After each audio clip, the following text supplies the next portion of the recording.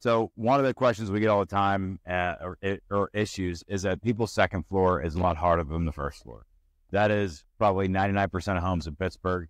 Uh, I can confidently say I have a Cape Cod that heats and cools terribly. We were able to change that, and every floor in the house, every room is the same temperature. So uh, ideal comfort is achievable. Uh, sometimes you got to work at it a little bit.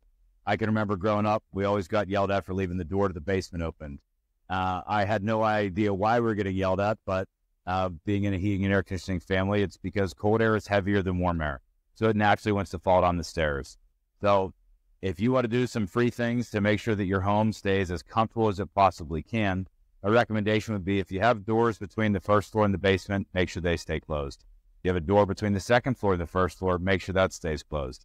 It's not often the case. So on your second floor, the bedrooms the bathroom doors, if you want those rooms to have a chance at staying comfortable, the doors have to be closed right? We're pumping cold air into those rooms. If we don't want it to fall down the staircase, we need to trap it in those rooms. And the only way to do that is by closing the doors. Um, the second step, if you're feeling adventurous, is go around and check check all your registers in your house. You can easily find out if it's a supply or return. Just take a Kleenex or a paper towel. If the Kleenex stick to the register, it's a return. If it gets blown away, it's a supply. In the summertime, we don't need a ton of cold air on the first floor of a two story home. So I recommend closing those registers down slightly and making sure all the registers on the second floor are open.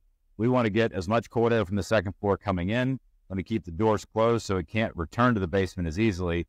And on the first floor, we want to restrict airflow uh, a little bit. That can make a tremendous difference. If you're interested in total comfort, I mean, there are things like mini splits. There's things like duct booster fans uh, that we install that are professional grade. They're super quiet. I have a couple in my house that are fantastic.